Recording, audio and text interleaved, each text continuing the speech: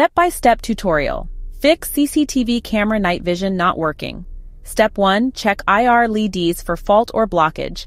Power on the CCTV camera in a dark environment or cover the lens to simulate darkness.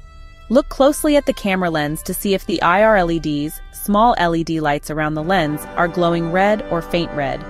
If IR LEDs are not glowing, check for physical blockage such as dirt, dust, or stickers covering the LEDs. Clean the lens and LEDs gently with a soft cloth.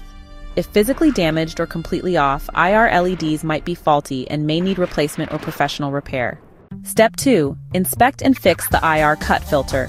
The IR cut filter switches on-off to allow visible light during the day and infrared light at night.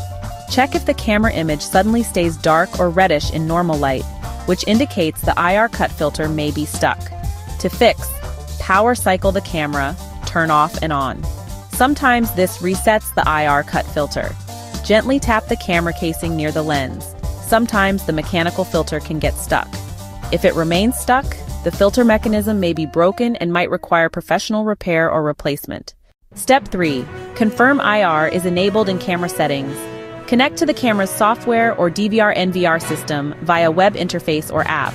Navigate to the camera settings or video settings section.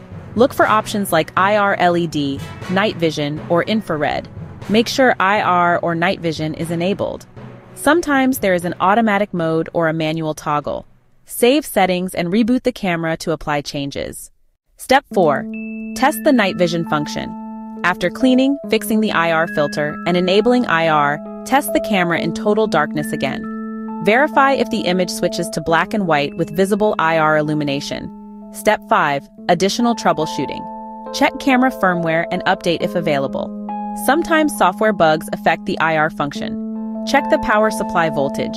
Insufficient power can cause the IR LEDs not to work properly. Check for IR sensitivity or brightness controls and settings and adjust if available. If, after all these steps, night vision still does not work, consider consulting the manufacturer's support or a professional CCTV technician for possible hardware replacement. Would you like me to help you with step-by-step instructions for checking settings on a specific brand model?